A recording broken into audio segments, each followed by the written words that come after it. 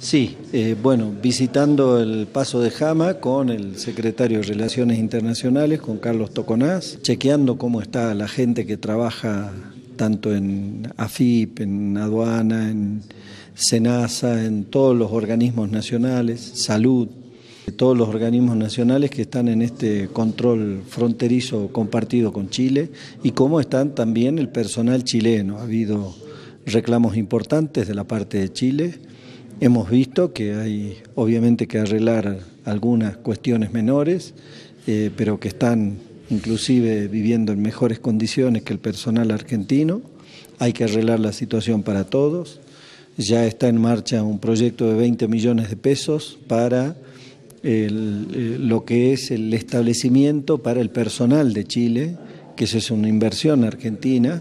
Esta semana vamos a terminar, ya está aprobada, está la no objeción del proyecto.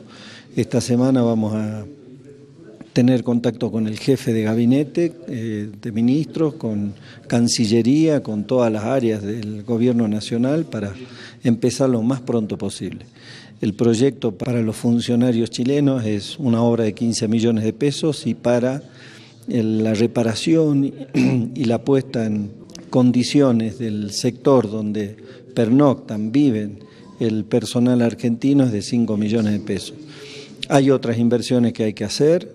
Eh, el paso de Jama ha desbordado, ha crecido mucho más que lo que uno esperaba o que, o que las autoridades anteriores esperaban.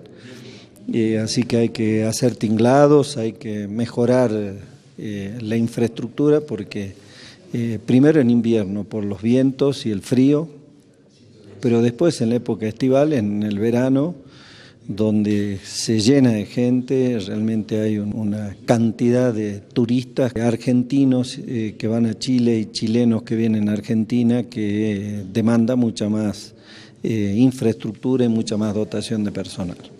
Hablamos con autoridades chilenas y argentinas también, el gobierno de la provincia trabajando full en lo que es nuestra competencia, pero además como gobernador de la provincia buscando que todas las áreas del gobierno nacional estén atentas para que este paso se fortalezca.